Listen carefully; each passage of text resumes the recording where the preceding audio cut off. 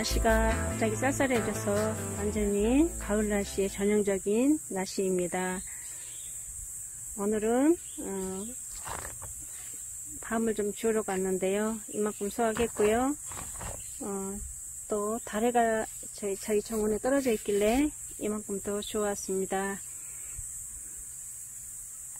가을은 가을입니다. 밤도 이렇게 알밤이 이게 떨어지고 근데 밤이 그래도 작년보다 달에는 좀 더 땄는데요. 작년에는 진짜 밤이 없었어요. 이거 절반 정도 그냥 따먹고 말았는데요. 그래도 올해는 작년보다 좀 더 땄네요. 밤이 없어요, 이거밖에.